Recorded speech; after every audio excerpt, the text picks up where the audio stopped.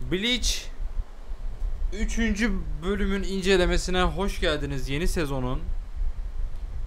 Yani geçen bölümde Kisuke Urahara banka ilerini kaptanların nasıl alacağını söylemişti. Yani söyleyecekti. Bu bölümde de artık onu açıkladı.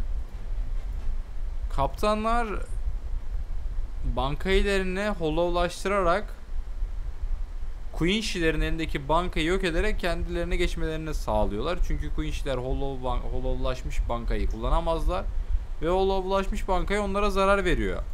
Bölüm fena değildi ama birkaç savaş sahnesi dışında, Shinji'nin sahneleri dışında işte Hitsuga'nın bankayısını geri alması ve biraz ufak tefek dövüş sahneleri dışında böyle yaklaşık bir 13-15 dakika konuşma üzerine geçti. Özellikle bir 10 dakika Urahara'nın konuşması üzerine geçti diyebiliriz ve bölüm sonlarına doğru bankayısı giden kaptanlara karşı kaptanlar bankayısını geri alınca Quincy'lerle savaşmaya başladı. Quincy'ler ise kendi özel yeteneklerini kullanmaya başladı ki bu özel yetenekleri bayağı güçlü ve bayağı iyi. Hatta Yvoch bunun üzerine mutlak çaresizliğiniz baş gösterdi dedi.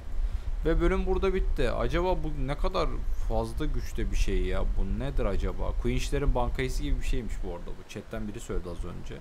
Sternritter'lar. Yani bu Sternritter'lar ne tür bir güce sahip? Ne kadar çok etkili acaba bankaylara karşı? Wolsterndiche. Yani bu arada baya havalı duruyor. Değişik duruyor.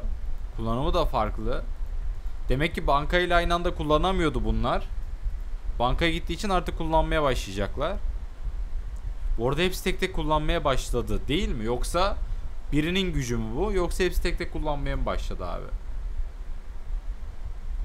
Yvoch da saldırmıyor uzaktan izliyor. Yvoch niye saldırmıyor acaba ya? Aslında hani olaylar erken bitsin diye Yvoch da saldırabilir. Ama Yvoch niye saldırmıyor? Aslında burada mesela ben Yvoch olsam basar gider saldırırdım hepsine. Ama bekliyor ve izliyor yani Yvoch.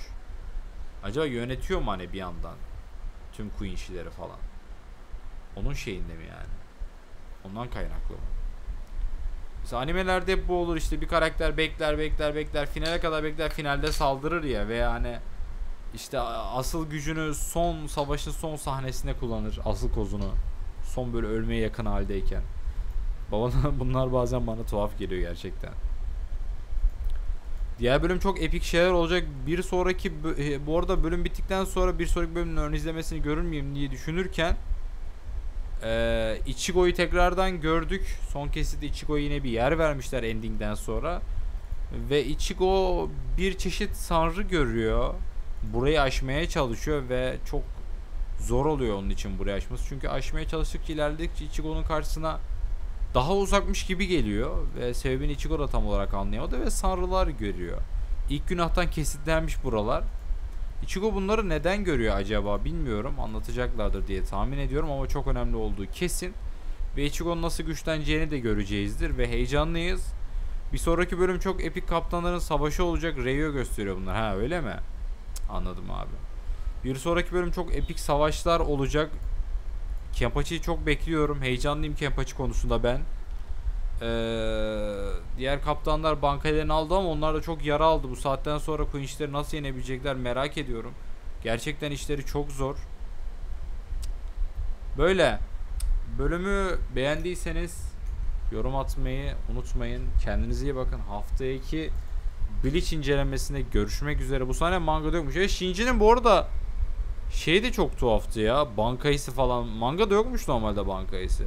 Animede böyle mangada olmayan ve novelde olan şeyler eklemeleri çok çok mutlu etti beni. Yani ben animelerde bazen gözükmeyen sıra dışı şeylerin olmasını seviyorum. Yani mangada olmayan işte ne bileyim ama kanon olan işte bunun olması çok zor bir şey.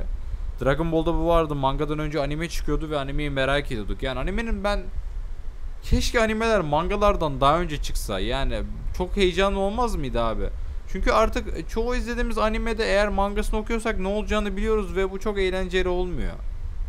Mangaları okutuyorlar bize. Animelerde böyle olmasını isterdim. Bence çok heyecanlı olurdu. Tabi her anime için geçerli değil bu olay. Neyse haftaya görüşmek üzere. Hoşçakalın bay bay.